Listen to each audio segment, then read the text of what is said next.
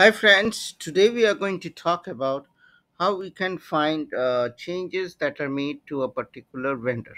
Okay, so in order to get that, you can go to this transaction or to the area menu SAP1. Okay, so you just type in this, and here what we are going to do is we are going to go to financial accounting, and from here we can go to reports for accounts payable accounting, and here we will go for master data and here we can see display changes to vendors. So if you double click on it and you can find all the changes that are made by so so if i put changed on probably i'll put a date. I'll just put suppose i expect some changes in the system.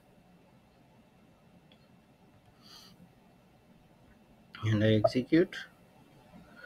And once i make so here you can see these are all the things that has been changed the old value new value all these things. So this is very important for an audit report where you can really find lots all the changes that are made for your vendor master and all types of fields. So this is pretty handy